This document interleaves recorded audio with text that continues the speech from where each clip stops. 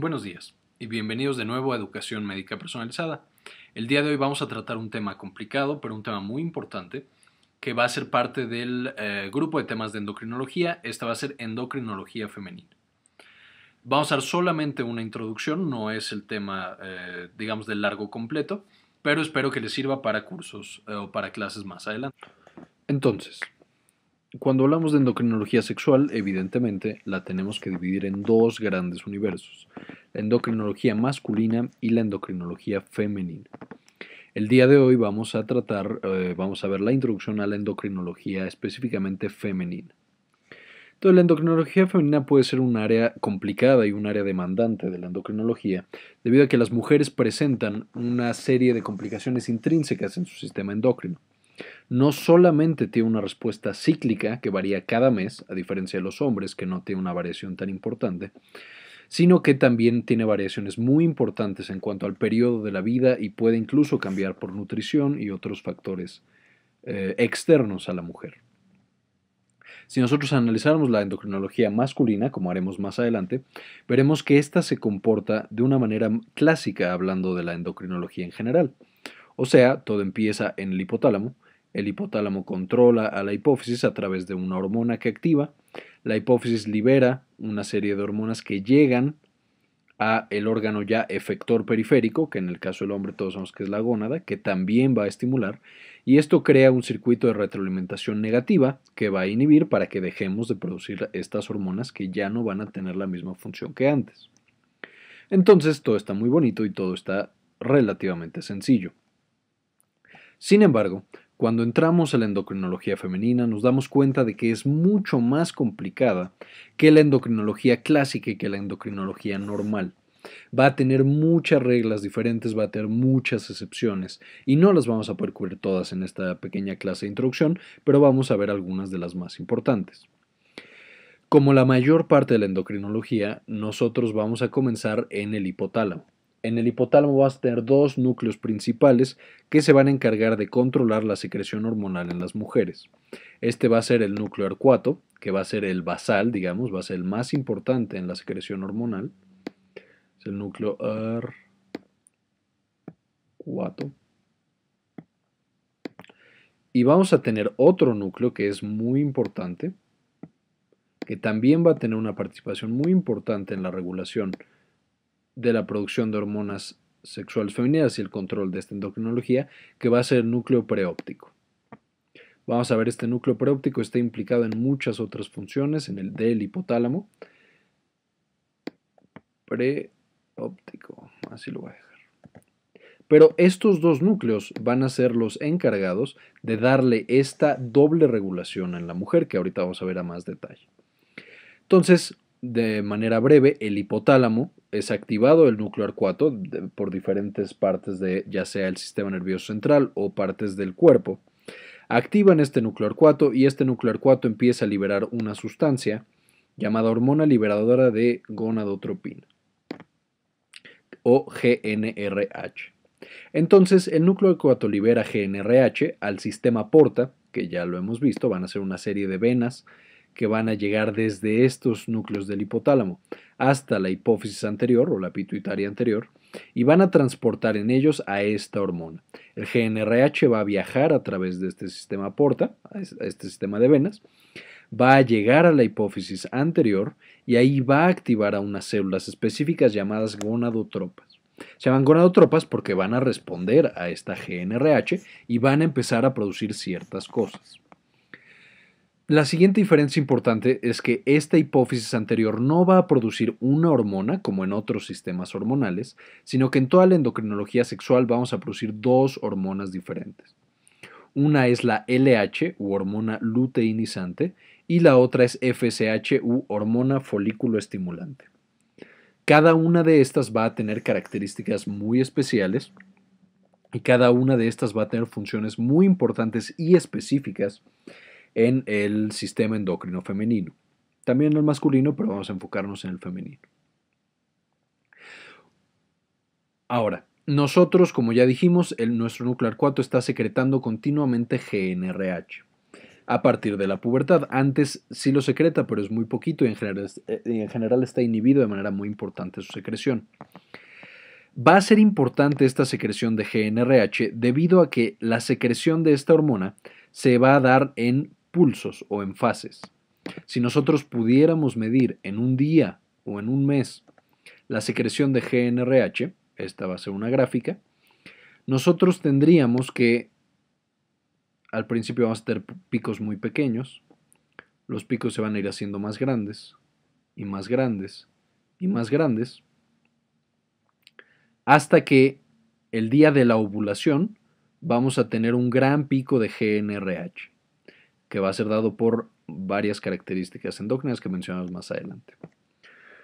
La amplitud de estos picos de GNRH, o sea, qué tan altos son con respecto al nivel basal, es lo que va a determinar qué tanto efecto tienen. Sin, e, que eso es normal en también los demás sistemas hormonales. Sin embargo, en el sistema sexual vamos a tener otra variación.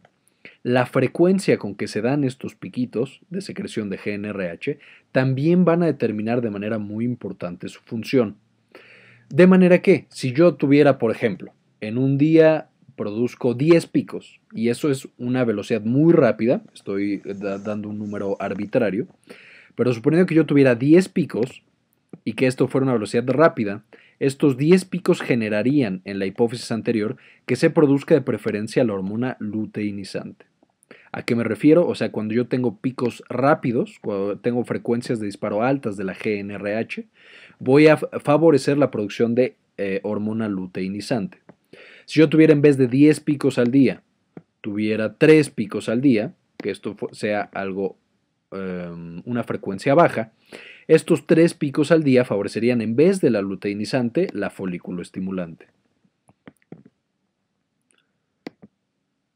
Y si por otro lado yo tuviera no picos, sino que tuviera una secreción constante y muy alta de GNRH, si yo pudiera graficar la, la GNRH y la tuviera así, en una gran, gran meseta, esta GNRH, como en otros neuropéptidos en el cerebro, haría que los receptores en la hipófisis anterior se, desnatural, se desensibilizaran y entonces esta hipófisis anterior ya no respondería a la GNRH. Entonces, si nosotros tenemos una secreción constante y alta de GNRH, esto inhibe toda la secreción de LH y FSH y por lo tanto más adelante toda la respuesta sexual. Esto es importante, por ejemplo, en la eh, ya cuando estamos viendo pacientes, debido a que si nosotros lo que buscamos es inhibir la función sexual, la, la secreción de LH y de FSH, podemos dar dosis altas y constantes de GNRH y vamos a inhibir la función de las hormonas sexuales tanto en hombres como en mujeres. En hombres, por ejemplo, se utiliza cuando hay una próstata crecida o incluso cáncer de próstata que, es sensible a la testosterona. Ya no queremos que esa persona genere nada de testosterona para que no crezca el cáncer de próstata. Le damos mucha GNRH por mucho tiempo e inhibimos completamente LH-FSH y más abajo la producción de testosterona. la mujer funciona exactamente igual, pero por ejemplo en el cáncer de mama que es sensible a estrógenos. También los leiomiomas que se generan en el útero. Entonces nosotros damos dosis altas y constantes de GNRH, inhibimos la función de esta eh, hipófisis anterior, ya no hay producción de LH y FSH, tampoco de estrógenos ni de progestágenos, y ya no tenemos, eh, digamos, podemos inhibir completamente la función de estas hormonas y ya tejidos que son sensibles a ellas ya no tienen esa respuesta. De manera que la manera en la que eh, se está secretando esta GNRH, ya sea muy lento, muy rápido, muy, eh, muy altos los picos o que sea una meseta constante, van a modificar de manera muy importante toda la función eh, hormonal sexual de la mujer. Ahora, continuando, vamos a suponer que nosotros tenemos una secreción normal que se da en picos y se da a la velocidad em, constante, digamos, en la velocidad normal. Esto va a generar que la hipófisis anterior, las células gonadotropas, empiecen a secretar LH y FSH más o menos en la misma proporción, o sea, ambas van a funcionar. Esta LH y FSH entonces van a, van a bajar a la eh, glándula efectora final, que en el caso de las mujeres van a ser los ovarios. En los ovarios vamos a dividir a los ovarios en dos tipos celulares diferentes. Vamos a tener las células de la teca, que van a ser externas, ahorita las vamos a ver, pero van a estar en la parte de afuera. Y vamos a tener las células de la granulosa. Estas células de la granulosa van a estar en la parte de adentro del ovario. Y van a tener respuestas diferenciales a la LH y a la FSH. ¿Cómo va a ser esto? La LH va a funcionar de manera preferencial sobre las células de la teca, no sobre las células de la granulosa al principio del ciclo. Ahorita vamos a ver cómo se modifica esto después en el ciclo. Y la FSH va a trabajar principalmente sobre las células de la granulosa. Y cada una de estas células va a tener funciones diferentes en el ciclo menstrual normal de la mujer o en el ciclo eh, hormonal normal de la mujer. Cuando la LH llega a las células de la teca, vamos a activar todos los mecanismos de producción de em, esteroides que ya vimos, por ejemplo, en la clase de fisiología del estrés. ¿Cómo va a ser esto? La LH se acopla a la célula de la teca y va a hacer que ésta tome colesterol, lo convierta en pregnenolona, ahorita lo veremos de nuevo, y de la pregnenolona nos dé andrógenos, principalmente androstenediona, dihidroepiandrosterona, y de ahí estos van a ser secretados a la circulación, a la sangre básicamente, que ni siquiera pasa a la sangre todavía, y van a difundir directamente a las células de la granulosa. Las células de la teca también pueden producir progestágenos, pero no es al principio del ciclo. Ahorita lo veremos más a detalle. Entonces, al principio del ciclo, la LH llega a las células de la teca, estas células de la teca toman colesterol y convierten este colesterol a través de la CYP 450 Side Chain Cleavage o SCC que es la misma enzima que se llama desmolasa. Entonces toman el colesterol, lo meten, de hecho el colesterol normalmente está en la mitocondria, pero lo toman y lo transforman en andrógenos. Estos andrógenos entonces son secretados y difunden hacia las células de la granulosa. En este momento las células de la granulosa toman los andrógenos y debido a que poseen una enzima llamada aromatasa, transforman este, a estos andrógenos y los convierten en estrógenos. Y estos estrógenos van a tener las funciones principales reproductivas en la mujer. Además de esto, las células de la granulosa van a ser sensibles a la hormona folículo estimulante. Esta hormona folículo estimulante, como lo dice su nombre, básicamente estimula el folículo, que el folículo va a ser la célula reproductora de la mujer, o sea, el ovocito, el óvulo. Entonces, cuando la célula de la granulosa recibe FSH, esto sí es desde el principio del ciclo menstrual, esta FSH va a estar encargada de la maduración del folículo para después que sea expulsado y después idealmente que sea fertilizado. Las células de la granulosa para cumplir su función van a necesitar tanto a la FSH como a la hormona que ellas mismas producen, que son los estrógenos. Entonces, una vez que la célula de la granulosa tiene FSH y tiene estrógenos, que produce gracias a los andrógenos que le da la célula de la teca, esta va a tener la maduración del folículo para después liberarlo y que se dé la fertilización, y aparte va a producir inhibinas y activinas. Estas em, inhibinas y activinas son las que se van a encargar en principio de la retroalimentación negativa. Las inhibinas y activinas, primero las inhibinas van a subir principalmente a la hipófisis y en la hipófisis van a estar encargadas de la retroalimentación negativa. Esto sí va a ser normal. Sin embargo, las células de la granulosa tienen la capacidad de producir también activinas, que las activinas, como dice su nombre, van a subir a la hipófisis anterior y van a estimular que ésta produzca más LH y FSH que determina que la célula de la granulosa produzca más inhibinas o activinas, una gran cantidad de estímulos, principalmente la cantidad de folículo estimulante y la cantidad de estrógenos que está recibiendo la célula de la granulosa. Que de nuevo recuerden que los estrógenos son directamente dependientes de la función de las células de la teca. Además, una vez que la célula de la granulosa produjo los estrógenos, estos estrógenos van a viajar otra vez a la hipófisis anterior y van a inhibir o estimular su función, dependiendo del momento del ciclo. Y van a subir al hipotálamo y aquí también van a tener una retroalimentación positiva o una retroalimentación negativa. Al principio del ciclo, los estrógenos van a subir y van a activar directamente, o más bien van a actuar directamente sobre el núcleo arcuato, y en el núcleo arcuato van a causar una inhibición del mismo, de manera que van a causar una retroalimentación negativa. Es decir, ya tengo estrógenos, pues ya no necesito producir más estrógenos, apágate hipotálamo, ya no produzcas más núcleo arcuato, deja de trabajar. Y entonces empiezan a disminuir la cantidad de GNRH, de LH y de FSH. Y esto es de manera normal eh, una retroalimentación negativa.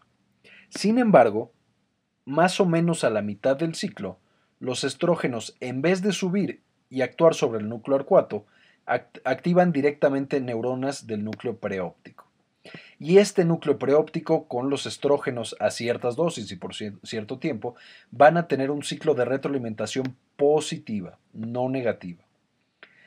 No vamos a ver a detalle esto, sin embargo hay unas neuronas muy importantes llamadas quispeptinas, neuronas productoras de quispeptina, que también están muy implicadas en el inicio de la pubertad, y lo veremos más en la clase de pubertad.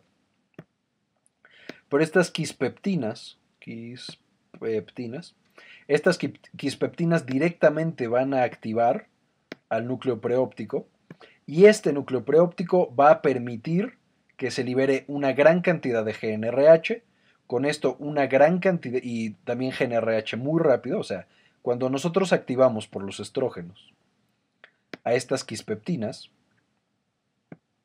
las, quispeptinas activan al núcleo preóptico, el núcleo preóptico hace que liberemos mucha GNRH y de manera muy rápida, que estamos creando pulsos muy muy rápidos de GNRH. Esto, como ya vimos, va a llevar a que la hipófisis anterior produzca más bien LH, no tanto FSH, y va a llevar justamente a la mitad del ciclo a algo que se llama el pico de LH. Y este pico de LH va a ser el principal estímulo encargado de la ovulación. Y ahorita lo vamos a ver más a detalle. Por último, estos estrógenos que nosotros liberamos en la célula de la granulosa y que estamos liberando todo el periodo hormonal, o sea, desde la fase proliferativa, la fase lútea, todo lo estamos liberando estrógenos, van a viajar al cuerpo y al tracto reproductivo principalmente y van a preparar al útero y también a la mujer para la conducta reproductiva y para que se dé esa reproducción y ese embarazo que es toda la idea de la función sexual. Y entonces vamos a hacerle un acercamiento a este, a este ovario. Este es evidentemente un ovario. Cuando nosotros empezamos nuestro ciclo, eh, nuestro ciclo hormonal, vamos a tener un ovocito primario. El ovocito primario va a ser básicamente un óvulo que va a estar en el centro y alrededor va a tener una muy pequeña capa de células de la teca y de células de la granulosa. Conforme nosotros vamos estimulando con LH, o sea, nosotros tenemos esta célula, y a esta célula, este ovocito primario, le está llegando todo el tiempo LH y FSH, primero en concentraciones muy pequeñas. Esta LH y FSH van a ir favoreciendo el desarrollo de este folículo, de este ovocito. Aquí FSH.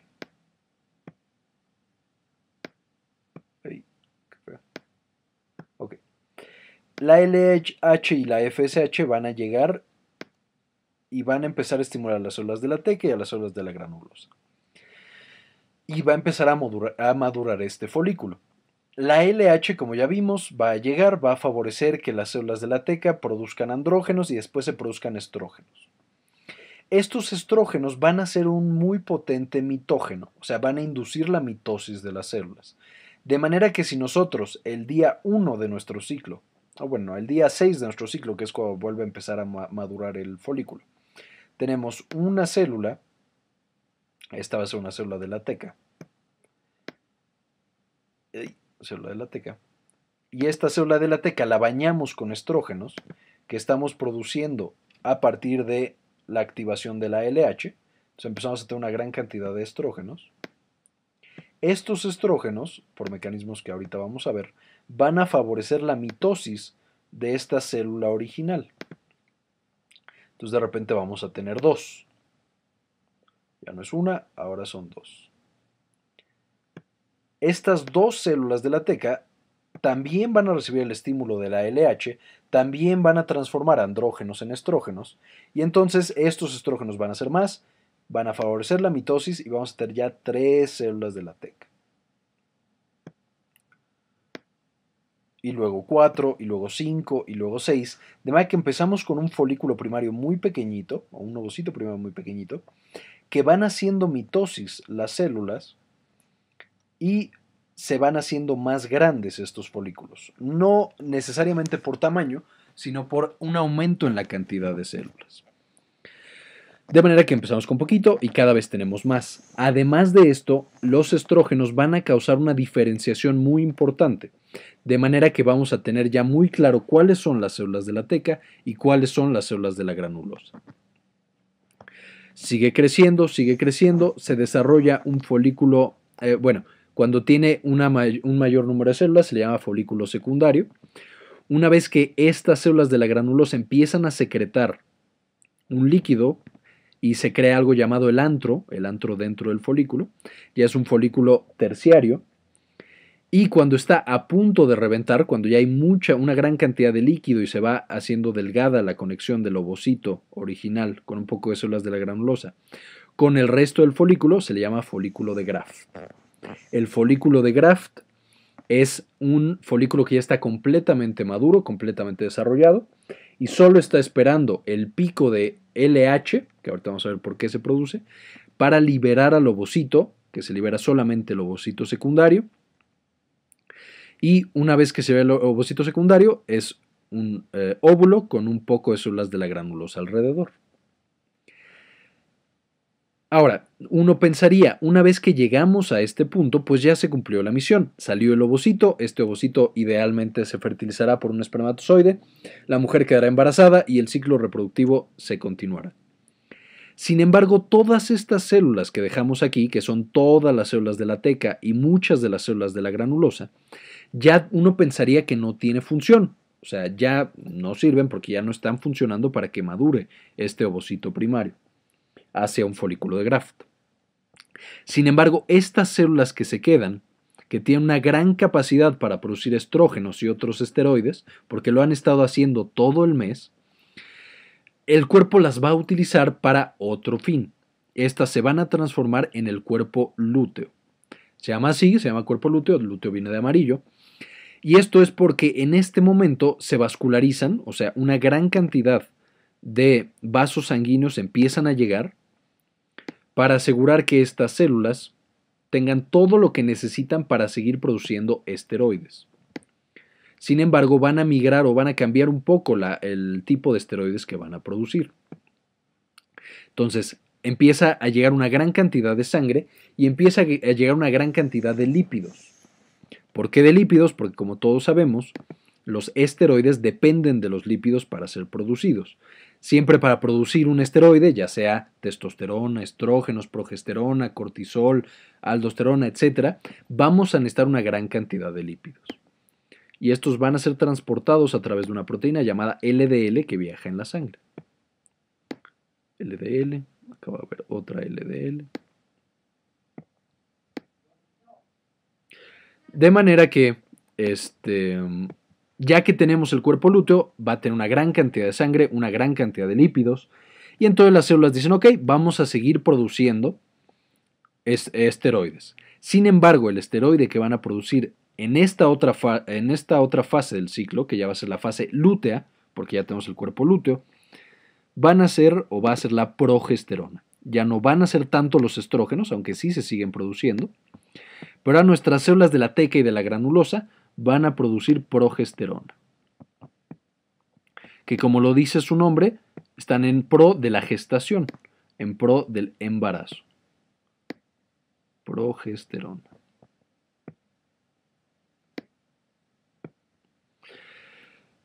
Entonces hay una serie de días en las que vamos a estar produciendo una gran cantidad de progesterona por esta parte del ovario que va a ser el cuerpo lúteo. Ahora, si no se da la implantación, o sea, si este ovocito secundario no cumple su misión, no encuentra un espermatozoide que lo fecunde y no vive feliz para siempre como un bebé, entonces este cuerpo lúteo pues ahora sí ya no nos sirve para nada. Y entonces sufre una degeneración. Y esta degeneración del cuerpo lúteo lo va a convertir en algo llamado cuerpo albicans, que es un cuerpo blanco. Y es un cuerpo blanco porque básicamente ya es solamente la cicatriz que queda el cuerpo lúteo. Ya no va a tener vasos sanguíneos, entonces se van a cerrar, las células van a sufrir un poco de isquemia, van a sufrir una fibrosis y entonces solo va a quedar una cicatriz, va a degenerar y este va a ser el, el cuerpo albicans.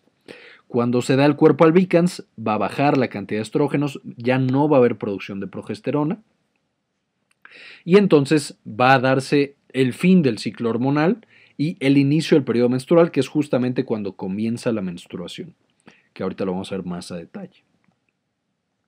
Entonces aquí les muestro un corte histológico, este es un folículo de Graft. Básicamente aquí tengo el ovocito primario que está rodeado de la em, corona radiata, que son células de la granulosa. todas estas van a ser células de la granulosa que están produciendo el este, antro, todo el líquido del antro que mientras más se llena de líquido, esto va a llevar tarde o temprano a que se expulse este ovocito primario y salga a buscar al espermatozoide de su vida. Entonces, en algún punto esto tiene que salir, ser expulsado y buscar un espermatozoide que lo fertilice. Estas células de la granulosa, además, van a, eh, bueno, estas más bien, además van a generar lo que es la famosa zona pelúcida, que es la que va a encontrar al espermatozoide, para que se dé la unión y la reacción acrosomal y todo lo demás necesario para la fertilización. Acá vamos a tener las células de la teca, esta es la teca interna y esta es la teca externa. Y este, como vimos, la estimulación se da así. La LH, o hormona luteinizante, va a llegar principalmente a estas células, a las células de la teca, y va a favorecer que éstas produzcan andrógenos, de hidroepiandrosterona, androstenediona, etc. Estas células de la teca, entonces, agarran colesterol, colesterol, y lo van a transformar cuando son estimuladas por la LH en andrógenos.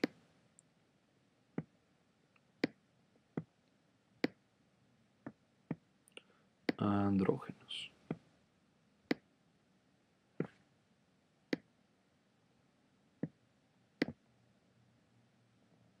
Una vez que nosotros tenemos estos andrógenos, las células de la granulosa van a tomar estos andrógenos y los van a transformar principalmente en estrógenos.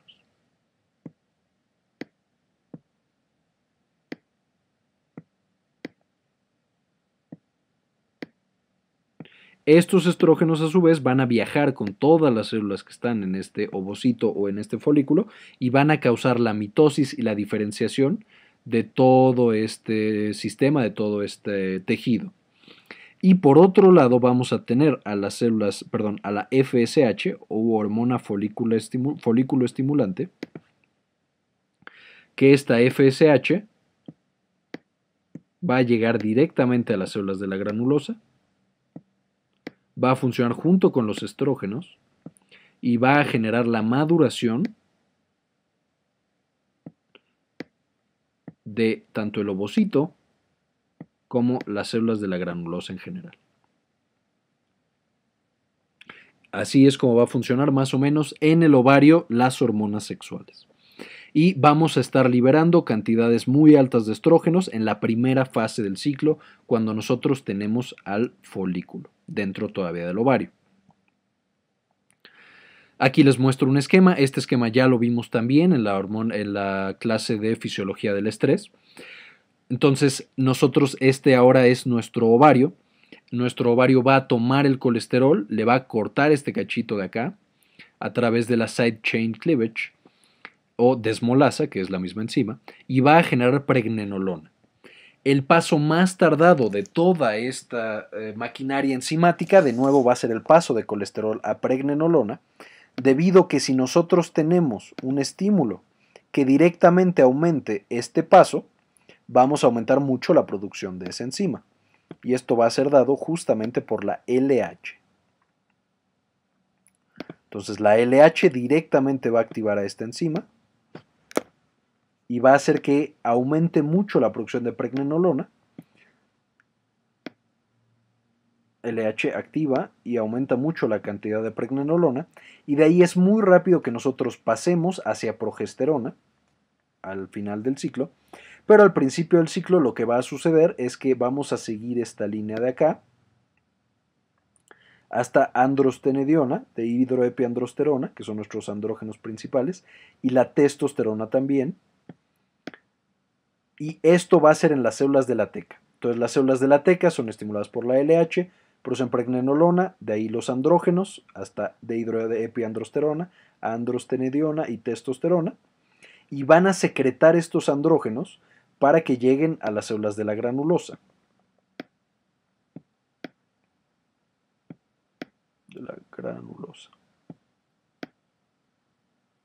Ya en las células de la granulosa, esta testosterona básicamente va a ser aromatizada hacia el estradiol, que va a ser el producto final. Otra cosa que le puede suceder a la aldosterona es a través de una reductasa ser transformada en dihidrotestosterona, que es como la testosterona pero mucho más poderosa. Lo normal es, si yo tengo una concentración normal, eh, digamos saludable y fisiológica de testosterona, las células de la granulosa siempre pueden aromatizarla y convertirla en estradiol y continuar en el ciclo eh, hormonal normal. Sin embargo, hay ciertas patologías que aumentan demasiado la cantidad de testosterona y esto inhibe a la aromatasa y activa a la reductasa de las células de la granulosa. De manera que las células de la granulosa ya no pueden aromatizar a los andrógenos. Ya solo se convierte en dihidrotestosterona y entonces la mujer sufre una masculinización o virilización. Esta patología, no la vamos a ver en esta clase, pero pensé en mencionarla, es el síndrome de ovario poliquístico. El síndrome de ovario poliquístico es yo tengo demasiada LH demasiada producción de testosterona por mis células de la teca, de manera que mis células de la granulosa ya no la pueden aromatizar, la reducen a través de la reductasa y entonces ya no produzco estradiol, sino que empiezo a virilizarme porque tengo demasiados andrógenos. Ahora, ¿qué va a pasar con un paciente normal una vez que ya tiene los estrógenos ahí? Ya sea en el ovario o en general en su cuerpo. Los estrógenos, como ya lo vimos, son hormonas liposolubles porque vienen del colesterol, porque vienen de un lípido.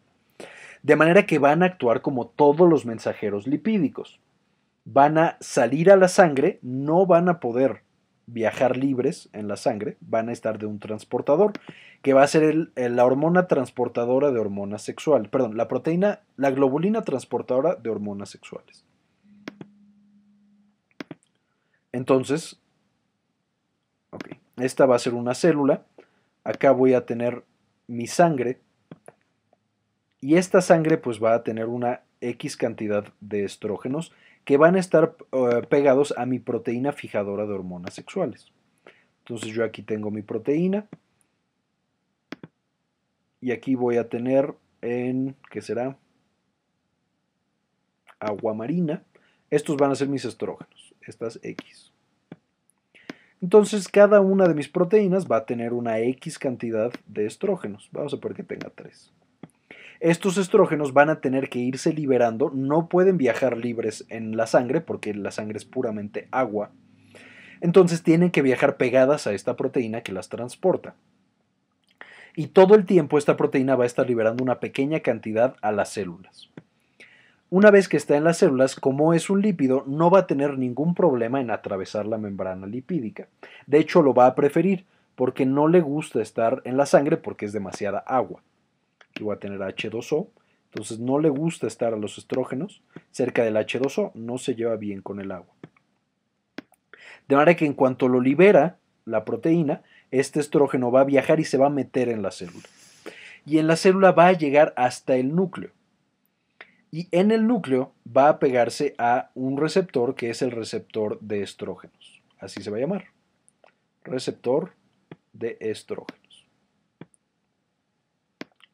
Una vez que yo tengo mi receptor de estrógenos y que a este receptor de estrógenos se le pega el estrógeno, vamos a tener una dimerización, o sea, se pegan dos de estos, dos complejos receptor de estrógenos con estrógenos, y van a viajar al ADN de esa célula. Y en el ADN de esa célula va a activar a ciertos genes promotores, o sea, va a decirle a esa célula, ¿sabes qué? Necesito que produzcas más de estas proteínas. ¿Cuáles van a ser algunos ejemplos de las proteínas que se van a producir por este receptor de estrógenos más los estrógenos? Por ejemplo, el receptor de progesterona. O sea, llega el estrógeno a la célula y le dice, ¿sabes que ya estamos listos o ya nos estamos preparando para el siguiente paso en la reproducción? Entonces yo necesito que para el siguiente, para dentro de dos, tres horas, me generes más receptores de progesterona, porque vamos a necesitarlo. Entonces aquí de nuevo lo mostramos, estos son los estrógenos, este es el receptor de estrógenos. Una vez que se pegan estos dos, van a dimerizarse, o sea, van a pegarse con otro igual, y van a favorecer que ciertos genes se produzcan más y van a hacer que otros genes ya no se produzcan. ¿Cuáles van a ser las funciones de estos estrógenos en el cuerpo? Van a ser varias, entre las más importantes es primero, el desarrollo de los caracteres sexuales secundarios en la mujer o sea, la voz delgadita, las caderas más anchas, el crecimiento de las mamas, el desarrollo de vello ginecoide y todas las características que definirían eh, de manera exterior a una mujer como una mujer, que se adquieren durante la pubertad. Sin embargo, además de estas eh, funciones que tienen los estrógenos, ya vimos que también generan mitosis y proliferación de las células del endometrio, de las células del folículo y también un poco en el tejido de la mama que de hecho por esto es la razón por la cual los estrógenos pueden favorecer el cáncer de mama. Además va a tener ciertas funciones sobre el sistema nervioso central, que veremos en otra clase, pero en general favorecen la actividad cerebral, o sea, aumentan la excitabilidad, eh, eh, causan eh, mayor estado de ánimo, mejor estado de ánimo, facilitan la actividad sexual, etc. Ahora, vamos a dividir a partir de este momento la vida de una mujer, hormonalmente hablando, en tres fases principales. Va a tener la fase proliferativa, va a tener la, fase secretoria y va a tener la fase menstrual. Esto es hablando de su endometrio en específico. Y de las hormonas en general y del ovario, vamos a tener la fase en la que el folículo está dentro del, del ovario, que es la fase folicular, y el momento en el que sale este folículo y se crea el cuerpo lúteo y vamos a tener la fase lútea. Vamos a empezar con la menstruación. Entonces, esta mujer, por alguna razón, no tuvo eh, la fertilización de su óvulo. Este óvulo va a ser perdido y entonces la mujer dice, bueno, pues no, ya no necesito mantener más mi endometrio. Este se, se muere, pues, y entonces empieza el periodo menstrual. Y reiniciamos el ciclo en este momento. Entonces empieza el día cero, que es el primer día de la menstruación. Más o menos dura cuatro días el sangrado, 30 mililitros es como el promedio de sangrado que tiene una mujer normal. Puede tener más, puede tener menos, pero vamos a usar 30 mililitros porque es una cantidad ya establecida. A partir de este momento vamos a tener que este folículo primario va a empezar a desarrollarse. Sea, nosotros tenemos la LH, vamos a estar liberando LH todo el tiempo y vamos a estar también liberando cantidades de FSH. Y estas van a llegar a nuestro folículo, van a hacer que el folículo se estimule. Las células de la teca van a empezar a producir andrógenos que son aromatizados por las células de la granulosa, van a empezar a hacer mitosis y empieza a crecer nuestro folículo. Y mientras más folículo tenemos, pues más estradiol vamos a empezar a producir se produce más y más y más estradiol porque más células están siendo estimuladas por LH y FSH. Hasta que más o menos dos días antes de que nosotros tengamos nuestra ovulación, ya tenemos mucho estradiol y esto genera un pico en la cantidad de estrógenos. Entonces tenemos una gran cantidad de estrógenos que suben. Estos estrógenos van a subir al cerebro y van a llegar, como habíamos comentado, al núcleo preóptico. Y en el núcleo preóptico van a activar estas proteínas raras que, son productoras de perdón, estas neuronas raras que producen quispeptinas, que no mencionamos a gran no mencionamos mucho, pues, pero vimos que estas van a llegar al preóptico. Y en el núcleo preóptico estimulan a las, a las quispeptinas, estas estimulan el núcleo arcuato, liberamos más GNRH. Y como tenemos más GNRH por parte del núcleo preóptico, GNRH, esta GNRH, que también va a tener un pico, GNRH,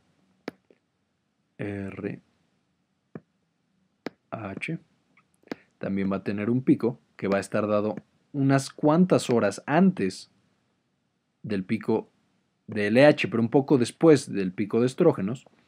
Este pico de GNRH va a bajar a la hipófisis y va a hacer que nosotros tengamos una gran cantidad de LH, porque estamos teniendo una gran cantidad de GNRH y pulsos muy rápidos, y también un pequeño pico de FSH. Como podemos notar, el pico de LH es mucho más importante que el pico de FSH. Toda esta LH va a llegar al folículo, va a hacer que el antro, el líquido antral, se llene mucho más de agua, aumente mucho más el líquido antral, y expulse al ovocito secundario. Y este ovocito secundario entonces empieza su viaje para buscar al espermatozoide. Entonces este ya se va.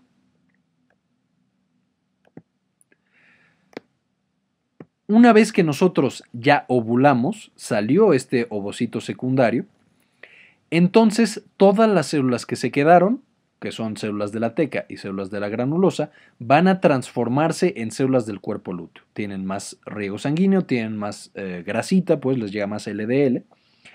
Y entonces toda su maquinaria empieza a transformarse y en vez de seguir produciendo estrógenos, vamos a producir gran cantidad de progesterona.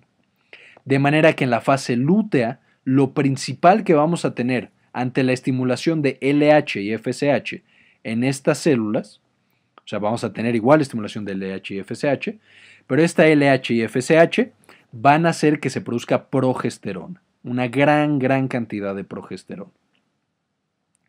Y esta progesterona es lo que nos va a dar todas las características de la fase lútea. También se produce estrógenos, pero estos son mucho menores en cantidad. También inhibina, que también es mucho menor y no es tan importante en este momento. La LH y la FSH de ahí empiezan a bajar, bajan, bajan, bajan, cada vez bajan más. Y en este momento, cuando la LH y la FSH ya están en concentraciones muy bajas, es cuando el cuerpo lúteo empieza a degenerar, o sea, se empieza a morir. Y para salvarlo, lo que va a tener que pasar, lo que tiene que suceder, es que nosotros produzcamos una hormona muy similar a la LH, vamos a hacer la infusia, que va a ser la gonadotropina coriónica humana. Gonadotropina coriónica humana. ¿Quién va a producir esta gonadotropina coriónica humana? O sea, ¿de dónde viene? Pues muy fácil.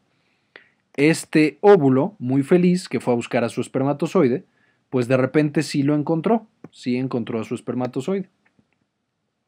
Como sí encontró a su espermatozoide, sí se fertilizó, sí se pegó al endometrio, sí empezó a generar a un bebé. Y entonces el endometrio, el tejido sincitial y toda la, maraña de células que vamos a tener ahí son las que van a empezar a producir la gonadotropina coriónica humana.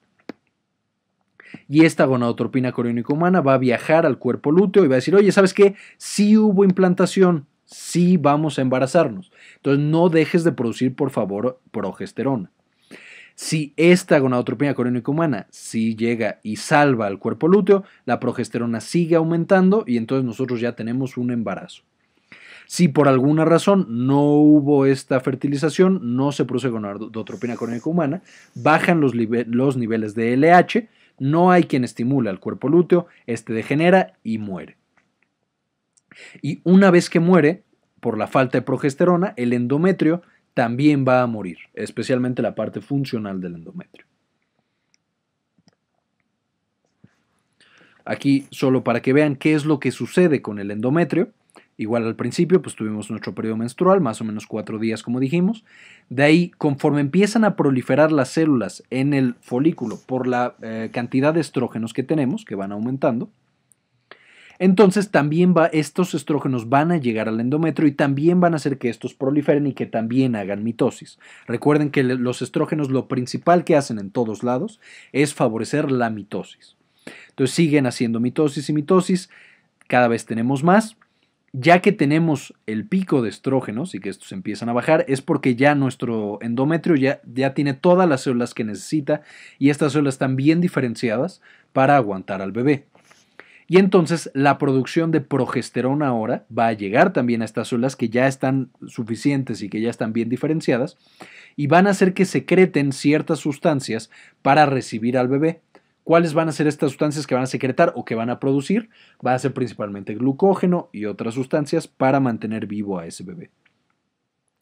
Si los estrógenos bajan y la progesterona también baja, los vasos que llegan a este endometrio, que normalmente son rectos y tienen una gran cantidad de sangre, empiezan a volverse tortuosos, se convierten en las eh, arterias espirales, degeneran y entonces todo este tejido se muere y se cae.